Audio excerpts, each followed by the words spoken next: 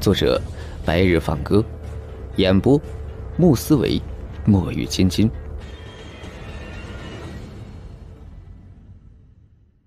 两千四百八十五集。怎么了，先生？混沌宗的人过来找真龙族和真龙虚了。你见到人了？没有。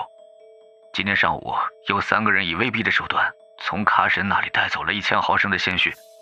卡神的小老婆听到了他们几句对话，说是要去汉腾格里峰找一个墓葬，又是鲜血又是墓葬的，我感觉他们的目标应该就是真龙族和真龙虚。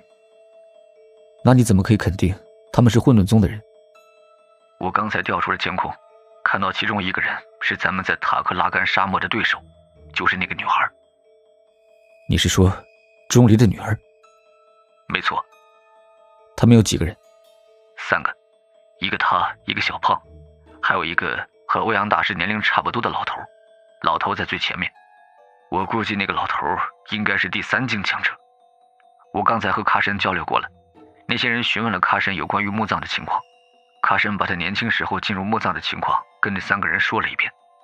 他担心会牵连咱们，所以最近发生的事情他都没有说。混沌宗那三个人看卡神只是一个普通人，应该不会对他们有所隐瞒，就没有过多询问。所以他们三人目前还不知道有咱们几个人的存在，可他们一旦上山，伊万和汉斯的嘴巴如果不严，咱们可就暴露了。如果他们嘴严，很可能会付出生命代价。先生，你得斟酌一下，这事该怎么办呢？嗯，我知道了，我想想。张凡话音落下，手机里传出了嘟嘟嘟的声音。张凡把手机从耳边拿下来，电话是伊万打的。老贺，先不说了。伊万来电话了，行，那你快接。张凡挂断和何安的电话，接通了伊万的电话，话筒里传出了伊万的声音：“喂，兄弟，给我打电话了是吧？刚才在山里面没有接到。”伊万大哥，那边的事情你处理的怎么样了？你们走了以后，汉斯跟哈尼聊起了当年发生在我们国内的一起事故，汉斯的父母就是死于那场事故。结果发现，那事故是由哈尼一手造成。汉斯一气之下就失手杀了哈尼。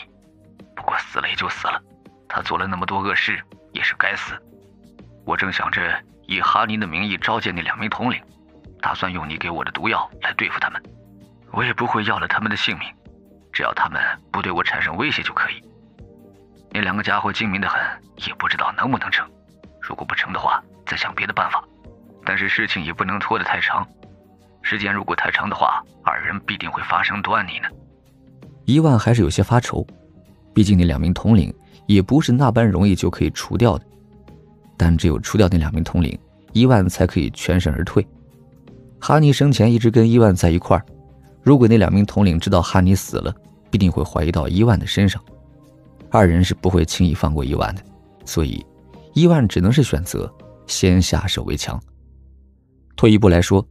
即便伊万想放哈尼一条生路，伊万也得先除去两名统领，不然的话，那两名统领得知了伊万背叛了哈尼，也同样不会放过伊万的。伊万大哥，眼下我有一个在不摆平他们的情况之下，你也可以全身而退的办法。哦，还有这等好事啊！我们国内过来三名高手，也想获得真龙族和真龙须，他们现在已经是在上山的路上。我的想法是。你们马上把哈尼的尸体放在墓葬里面，然后带所有人下山，直接跟那两名统领说，那三名高手和你们首领发生了冲突，首领看出了对方难以对抗，护住了你们，让你们先下山，这一切责任就不在你的身上。不过前提是，这出戏你得演好了。好，我明白了，我就按照兄弟的意思办。还是那句话，一定要谨慎小心，有什么事情电话联系。好。伊万应了一声，二人便把电话挂断。张凡又把电话打给贺安，电话很快就被接通了。贺安说道：“先生，什么情况啊？”哈尼已经死了，我让他们把哈尼的尸首放进墓葬里，让伊万对另外两名统领说，哈尼是为保护他们而死的，让混沌宗的三个人认为哈尼是死于夺宝的过程之内。张凡把他的想法说了出来，贺安连连点头。这是一个好办法呀，不但伊万和汉斯可以脱险，所有人也都可以从此事当中给摘出来。但愿这中间别出什么差错吧。嗯，但愿吧。如果真的出了差错，就由我去顶缸，绝不能连累伊万和汉斯。呵，先生，顶缸的时候记得把我叫上。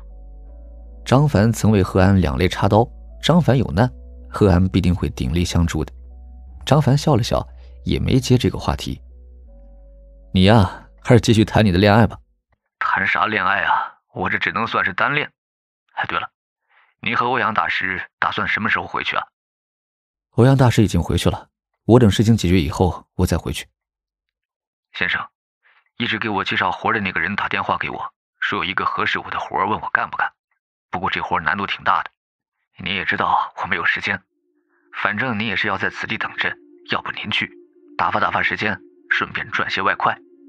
这，那也行。自从突破了第二境第七段之后，张凡也没有历练，正好可以借这个比较难的活历练一下。历练可以让修炼者对于综合能力有极大的提升。那你跟我说一下，这是个什么活？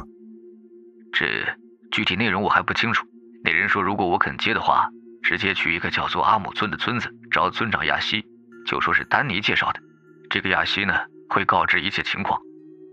您看行不？如果行的话，我把位置给您发过来。行，那你把位置发过来吧。